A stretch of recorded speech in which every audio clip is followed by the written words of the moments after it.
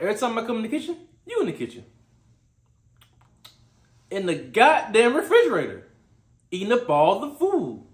All the collard greens. All the hot mugs. Say some food for me. I like pig feet. Now, what happened to bed last night? Didn't I tell you to take out the trash? Huh? Did I tell you? So why you do it? You fell asleep. might be my granddaddy. You my boy. I wish you had sleep right now. Wake your ass up with that folk. Make you wake up and take out that damn trash. Now, mama told me what you did.